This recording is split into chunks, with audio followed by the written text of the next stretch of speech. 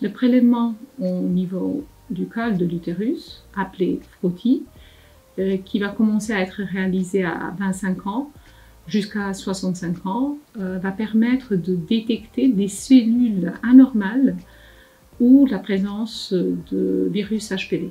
Entre 25 et 30 ans, il faut d'abord faire deux examens à un an d'intervalle.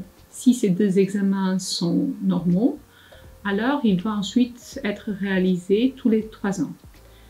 À partir de 30 ans euh, et jusqu'à 65 ans, il faut réaliser un prélèvement du col pour euh, le test HPV tous les 5 ans. Environ 40% des Mosellanes ne feraient pas en fait de frottis cervico-utérin régulièrement.